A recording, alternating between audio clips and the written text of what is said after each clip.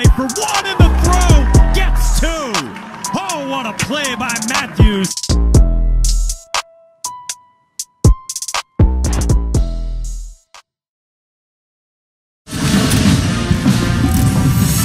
The final week of the baseball regular season is here, and on a Tuesday afternoon in Louisville at Jim Patterson Stadium, we've got the Cards squaring off with a terrific mid-major opponent in USC Upstate out of the Big South.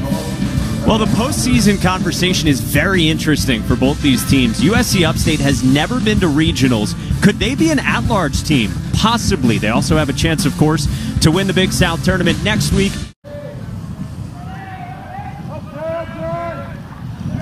Three one, and Matthews works a walk. So three out of the first four have reached for USC Upstate here in the third against Perkins. Two run game.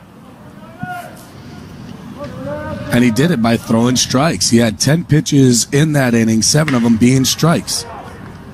Induces a ground ball to his shortstop, Jason Matthews. And there's two away.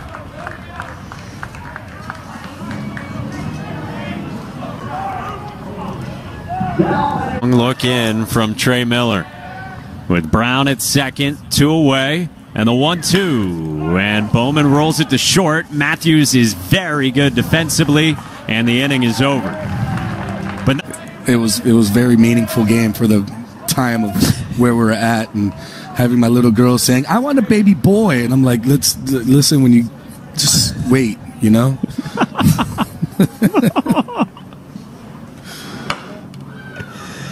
Grounded gently to short, and it gets by Napchik.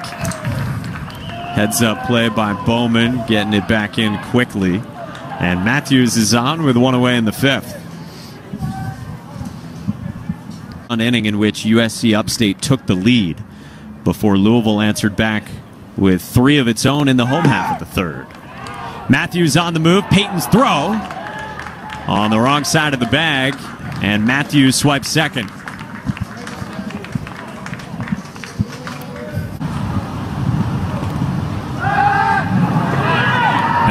Got him hung up. Sang cannot beat the throw. Gallagher delivers it on the money to Matthews. And Civic comes out of the pen and picks off Sang to end the inning.